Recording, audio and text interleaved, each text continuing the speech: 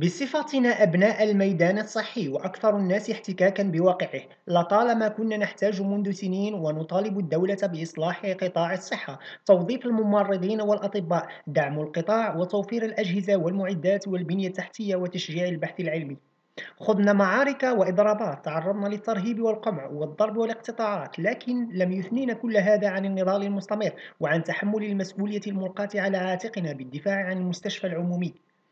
هاجمنا آنذاك وللأسف هاجمنا آنذاك وللأسف أبناء شعبنا العزيز. قبل أن تهاجمنا الوزارة كان المواطن يتذمر من إضراباتنا ويتهموننا بزرع الفتنة يكنون لنا البغض والحقد ويهشمون عظامنا داخل مراكز عملنا.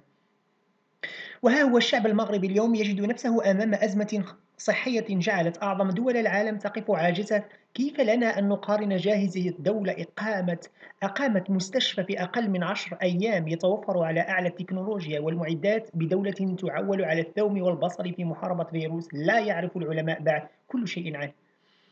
ليتضح أن كل ما طالبنا به هو لمصلحة المواطنين قبل أي أحد آخر.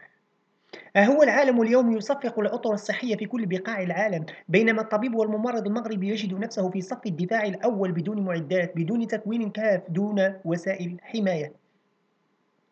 توقفت الدراسة وتم تعليق رخص الشغيلة الصحية. لم يفكر أحد في مصير أبنائنا من سيهتم بهم عندما نكون في خدمتكم؟ وماذا لو لو نقلنا العدوى لأحبائنا لأحبائنا وعائلاتنا نظرا لقلة وسائل الحماية. كل هذا لا يهم لأن أسلافنا حاربوا أوبئة كثيرة وضحوا بأنفسهم من أجل حماية صحة المواطنين.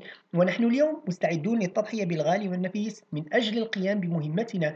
لكن كل ما نتمناه أن يستوعب المواطنين المواطنون هذا الدرس جيدا. لسنا أعداء لكم ولم نكن كذلك يوما. نحن جنود الوطن في المحن والأزمات.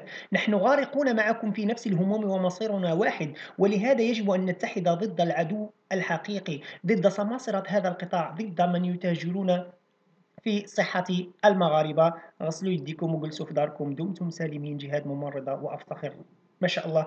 تبارك الله عليك. يعني آه كلام جميل آه لأجل هذا نرفع آه التحية لهذه الأخت الفاضلة ولجميع الأخوات والإخوان الممرضين والدكاترة والأطباء وكل الصاهرين على هذا الوباء أو هذا كل الصاهرين على المواطنين وعلى صحة المواطنين جميعا وكل من يريد المصلحة العامة لهذا الوطن الجريح لهذا الشعب المقهور ولهذا الشعب المهموم. آه، الله الله يبعد علينا هذا الوباء.